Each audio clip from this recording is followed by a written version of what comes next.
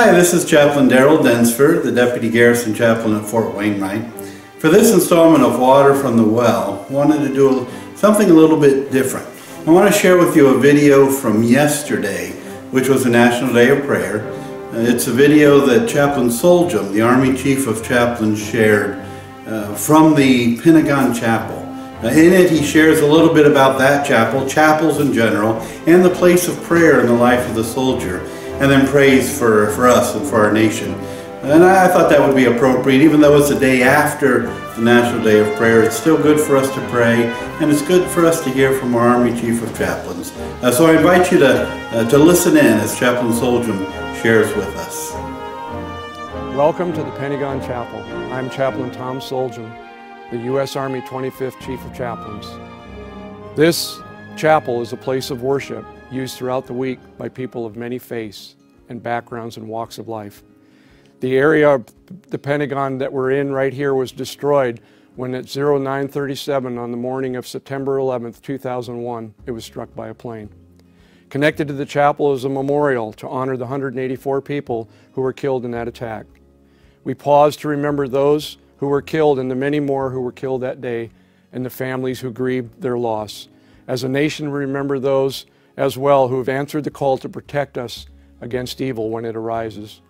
This chapel is a testimony that out of the ashes, hope will arise, that in the face of evil, good will prevail, that men and women will continue to answer the call to fight for freedom and de oppresso liber, to free the oppressed. This chapel is a place where all can be encouraged in their faith. It is a place when one is looking for answers in worship or in days of rain or sunshine, times of joy, times of pain, one can always pray. I found that as a young soldier in a chapel, I found sanctuary. It was a place where I could go to get away from the daily life and rigors of being a soldier to have a quiet sanctuary moment before my Lord and God. It was there in that solace, in that sanctuary, in that chapel in a faraway, distant place in Germany that I made a connection with God that has driven the course of my life from that day forward, and it was an answer to prayer. It is certainly powerful. I believe that God hears our prayers, and He acts, and He answers them. Today, in the midst of all that's going on in our nation and in our world, we must pray. Today is a National Day of Prayer, an annual event held on the first Thursday in May.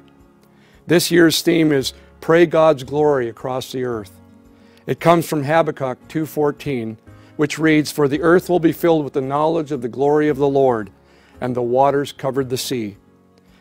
Days of prayer have been called upon since 1775, when the Continental Congress designated a time of prayer in forming a new nation. The National Day of Prayer was passed by Congress and is signed into law by President Harry Truman on the 17th of April, 1952. The law was amended by Congress and signed by President Ronald Reagan on 5 May 1988, designated the first Thursday in the month of May as a National Day of Prayer. The Army places a high value on religious accommodation and freedoms and our soldiers' rights to observe the tenets of their respective religions or to observe no religion at all. One of my favorite passages on prayer is taken from the scriptures in 2 Chronicles 7:14. If my people who are called by my name will humble themselves and pray and seek my face and turn from their wicked ways, I will hear from heaven. I will forgive their sin and heal their land. As we pause to pray, I'm reminded of a prayer that President Roosevelt prayed for our nation just over 75 years ago on D Day, the 6th of June, 1942. And in the abbreviated context of that prayer, he simply stated Almighty God, our sons, the pride of our nation, this day have been set upon for a mighty endeavor. Lead them straight and true. Give strength to their arms, stoutness to their hearts, and steadfastness in their faith. No truer words were ever spoken at a time of crisis. And as we face this time and this season together of a global pandemic during this National Day to Prayer, it is only right, true, and fitting that we would turn our hearts towards God and pray because He hears from heaven and He answers when His people call please, where you are, uh, join me, if you would, in bowing your heads and joining me in a moment of prayer. Gracious and Almighty God, we thank you today for your loving hand and for your ear that is inclined to hear your people's prayers. We pray for our world today as we are facing a global pandemic, a crisis that is befallen upon us. Uh, it seems as though in a way unprecedented in our lifetime.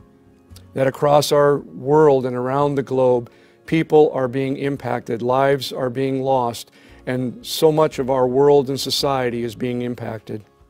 So we lift up our nation during this COVID crisis in our army. We ask God that you would protect us and that you would keep us strong. And that wherever Americans would be found around the world, Lord, that you would watch over, keep, and protect them. Lord, we ask for those who are listening today that if they are experiencing a time in their life of real testing, of trial, Lord, I pray today that as we incline our hearts to seek your face, that you will answer our prayers today, that you will strengthen them in their spirits, lifting up our families and our children as well as the men and women who wear the uniform and the civilians who stand alongside of us. Lord, we all recognize that we need you today. So, loving and gracious God, would you watch over your flock today? Would you care for them? Would you strengthen them and pour your Spirit on, upon us all? Lord, we ask that in these times that we would have a posture of humility before you.